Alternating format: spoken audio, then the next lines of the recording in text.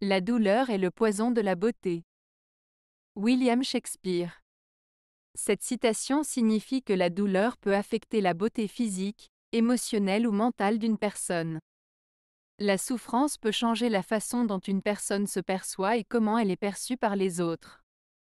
Shakespeare suggère donc que la douleur est quelque chose qui doit être évité pour maintenir la beauté.